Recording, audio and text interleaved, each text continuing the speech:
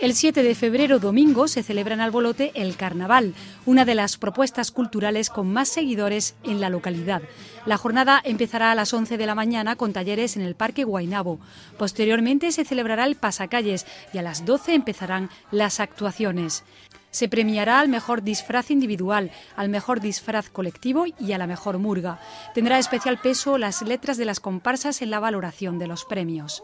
Queremos valorar las letrillas y, queremos que tenga un carácter mm, cultural, pero que también se, vuelva a retomar eh, principalmente la conexión con los problemas de la sociedad y, bueno, que no se quede solamente en un concurso de disfraces.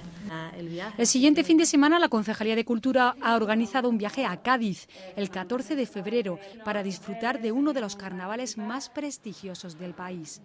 La idea, como decía, es eh, poder ver la fiesta directamente en la calle.